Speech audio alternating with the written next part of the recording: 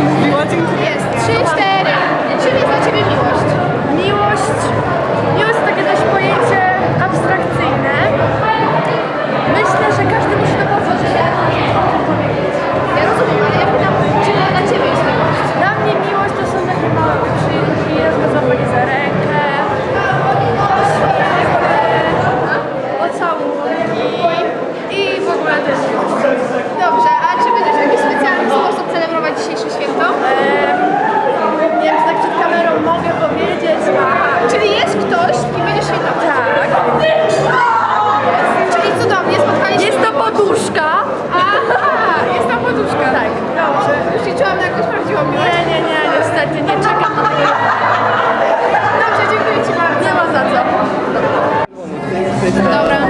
Ну, добра,